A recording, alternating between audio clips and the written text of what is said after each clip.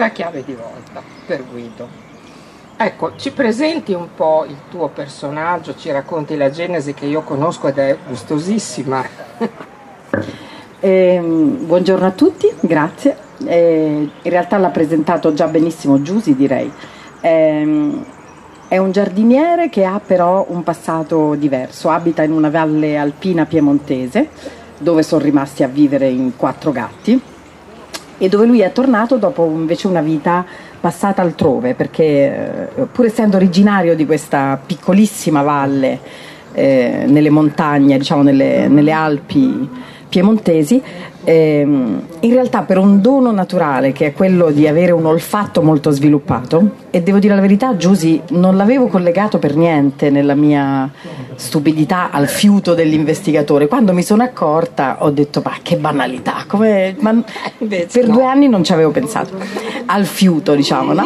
e, e, quindi per questo olfatto molto sviluppato Guido è diventato un naso, che è questo mestiere meraviglioso che fanno in pochissimi privilegiati sul pianeta eh, per le aziende profumiere. Lui quindi è finito prima in Provenza, poi a Parigi, da questa piccola valle piemontese, quindi strappato a, a quello che sarebbe stato il suo normale destino, perché insomma è una piccola valle con delle fabbriche tessili, ma comunque quindi ha una vita che sarebbe stata una vita piccola, diciamo, in un posto piccolo, e invece lui è finito nella Ville Lumière dove è diventato un naso famoso.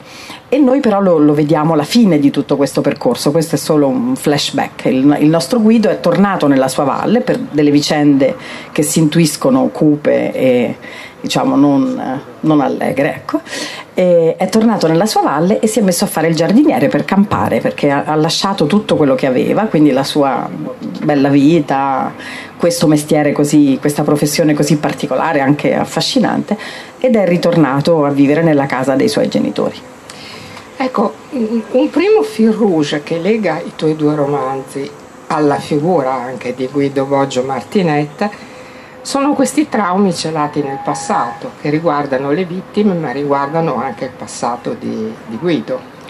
Ecco, e che in qualche maniera eh, gettano come un ricatto su quello che può essere il loro presente.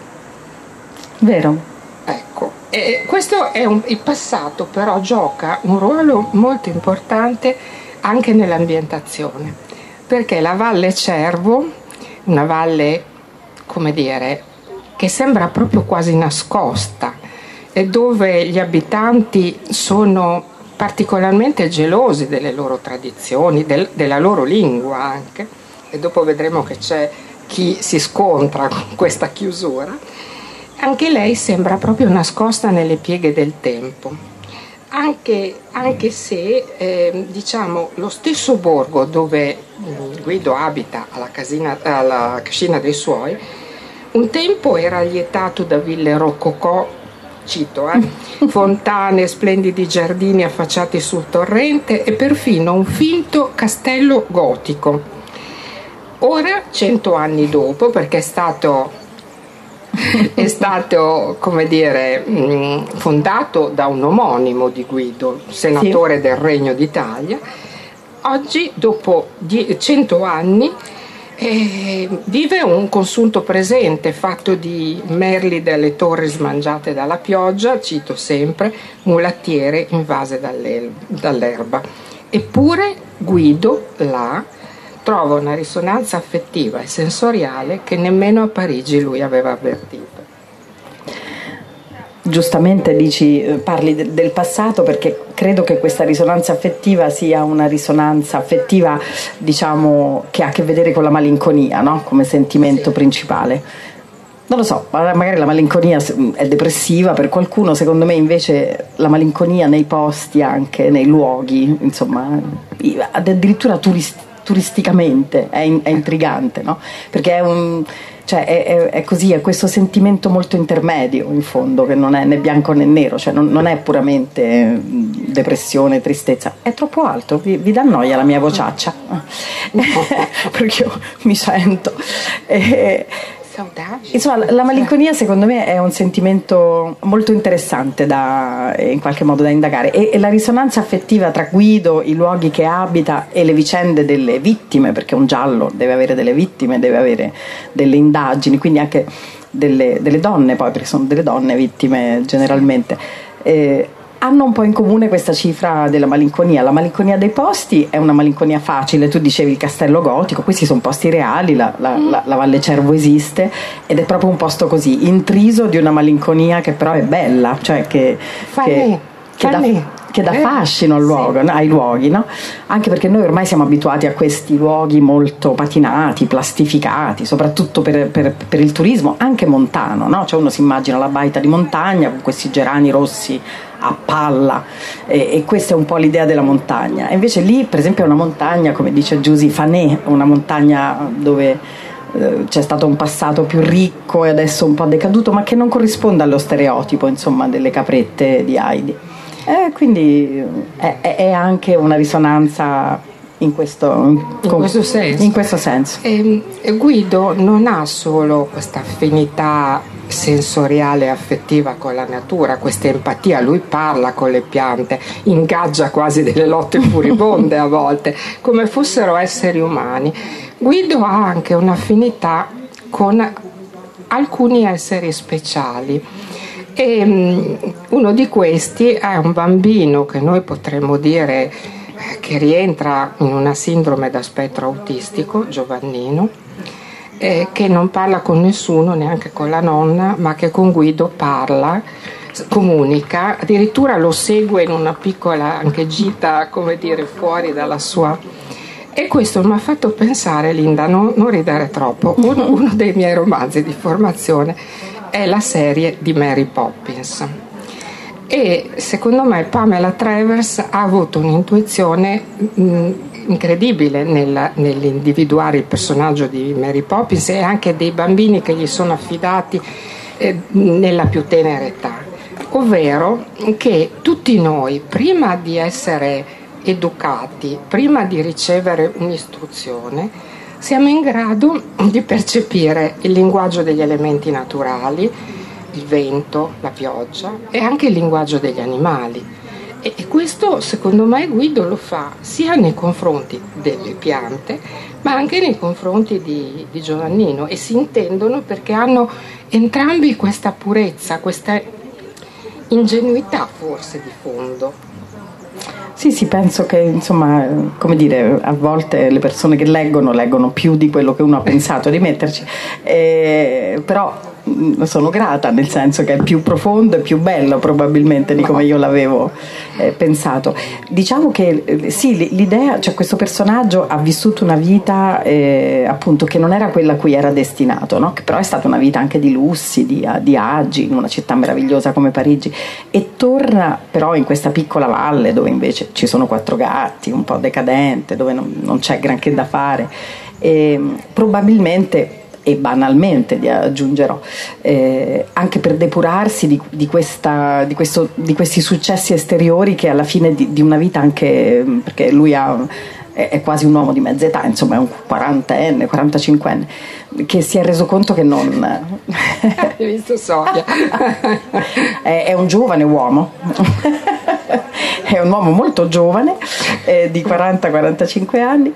E, Insomma, chiaramente eh, si, si, si, intuisce che lui ha, ha, voluto anche a un certo punto lasciarsi alle spalle aspetti, l'aspetto anche superficiale di questo successo, di questa vita in cui l'esteriorità poi per antonomasia faceva profumi quanto di più, tra virgolette, meravigliosamente inutile, insomma, e, ed è tornato evidentemente per un desiderio di contatto con qualcosa di più autentico e questo qualcosa di più autentico lo trova lo trova nelle piante con le quali appunto litiga perché è un giardiniere compulsivo, eh, però lo trova anche nei bambini e in questo caso lo trova in un bambino che ha un modo di comunicare altro.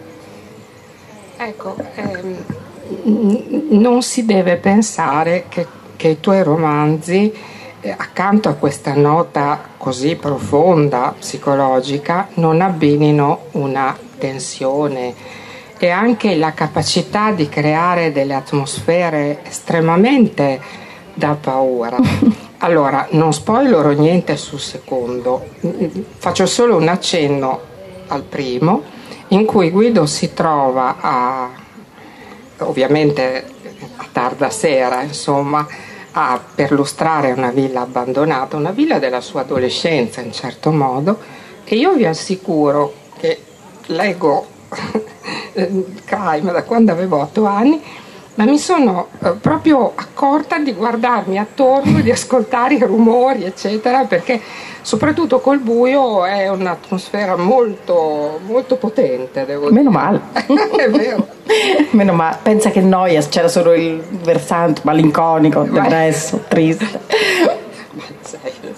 Io sono un amante di Proust, per cui... Ah, vabbè, non fai testo, allora. non faccio testo. E qui non mi fai però buona pubblicità, eh, perché Eh. se dici così, No, allora beh. questo, Questo no, che invece...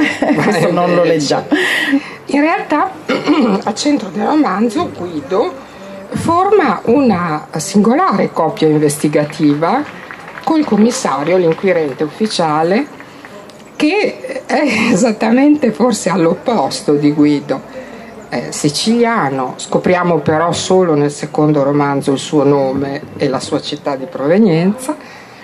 Ed è l- proprio, come posso dire, il classico esempio di, di una persona che sente nostalgia del sole, del mare e si trova catapultato nel freddo, nella nebbia mm, e, e- e oltretutto circondato da, da persone che parlano una lingua che gli è eh, quasi sempre estranea. Infatti eh, il rapporto con Guido innanzitutto nasce in un'atmosfera di sospetto nel primo romanzo perché quasi quasi lo crede il colpevole dell'omicidio. E poi comunque di insofferenza perché non capisce come faccia ad amare quei posti, non capisce che lingua parla, i piatti che gli piacciono. E credo che tu abbia voluto introdurre col commissario una nota un po' leggera, un po' sorridente. Sì, certo, beh, appunto perché sennò eh, c'era da spararsi, no? Eh, No, diciamo che poi la, la cosa divertente, allora questa valle esiste davvero e il commissario siciliano è, sarebbe diciamo chiamato un foresto in questa valle, no? Foresto eh, è tutto quello che è estraneo, a- ma la cosa divertente è che in questa valle che esiste realmente si è foresti anche se ci si trasferisce lì da bambini e si vive lì 60 anni, si continua a essere dei foresti. Io avevo una proprozia definita ehm, che avevo sempre saputo, diciamo che con sconcerto lì localmente, perché io- la mia famiglia viene da lì, eh, con sconcerto veniva definita, eh, dice, l'ha preso una moglie meridionale, no? Cosa di cui si parlava anche con velata. E poi ho scoperto era di Bologna. Sono contenta. ecco, questo per dire diciamo, il tipo di mentalità aperta, no? Eh, s- incline alla socievolezza. Quindi il povero commissario siciliano trasferito lì d'ufficio, che certamente non ha scelto di andare lì, intanto ha proprio un problema, è un meteoropatico e quindi da quando ha scoperto che Biella è la seconda città più piovosa d'Italia, che è vero, a livello proprio di precipitazioni annue non trova pace perché dice ma tra tutti i posti voglio dire di- del bel paese no sono venuto qui che piove tutti i giorni cioè tutte le stagioni tutti i giorni quindi non trova pace e naturalmente in questo senso è un contraltare divertente insomma spero divertente poi uno ci prova A quando un'altra indagine? eh io spero presto Lo eh. chiedo egoisticamente. grazie sei, sei No, troppo generosa Devo dire che io ho ehm, l'abitudine da sempre di andare in libreria e di scegliermi i libri. Adesso i librai quasi non li consigliano più, ma una volta quando tentavano di darmi dei consigli io proprio reagivo con un moto di insofferenza. E il suo primo, Le colpe degli altri, me lo sono proprio annusato io e- ed è stata una, una sorpresa veramente... e come li scegli dalla copertina? leggi il Ma sai che se non dovessi dire, se non avessi timore di dire una cosa ehm, troppo fantasiosa, direi che mi chiamano. I libri mi chiamano. Eh, io a proposito di meridionali, io avevo una nonna abruzzese e anche un po', come dire, esoterica, Ah, certo. probabilmente.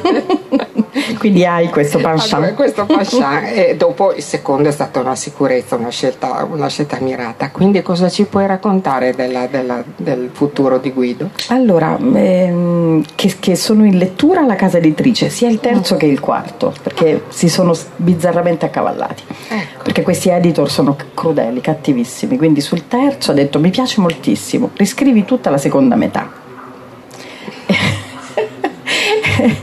Sonia vedo che annuisce, sa di cosa, di cosa, parliamo, nella sua cattiveria. Allora io ho detto sì, vabbè, riscrivo la seconda metà, ma non è facilissimo, no? Cioè, mi piace tantissimo, ma rifai tutto da capo, eh, insomma, anche in cucina, voglio, non è semplice. Sì. E quindi eh, per tenermi su, diciamo, mentre obbedivo, perché come Garibaldi obbedivo all'ordine dell'editor, per tenermi su scrivevo il seguito, no? Ecco. Così e, e, quindi alla fine sono finiti tutti e due insieme, gliel'ho dati, adesso, adesso vediamo.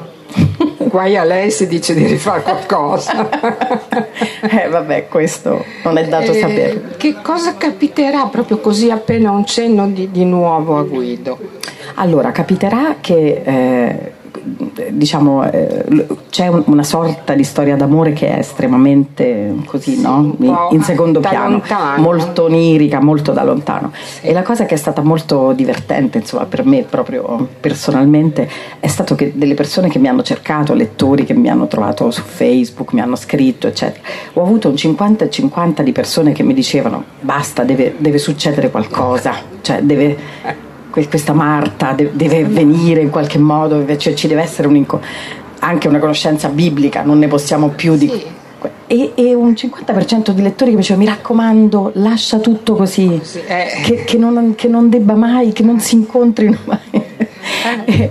E, e, allora alla fine no, ho deciso che è meglio che si incontri, perché a un certo punto insomma ci voleva un... E, anche perché Marta gli aveva fatto il dispetto di andare a Parigi, eh, insomma... Certo quindi proprio, proprio là, come dire, no? Ecco. E poi così, insomma, e naturalmente nuovi delitti, efferatissimi delitti e insomma vittime, vittime a profusione. Bene, questa è la dimensione della paura che a noi piace vivere. Grazie Giuseppe. Grazie infinite. Grazie molte.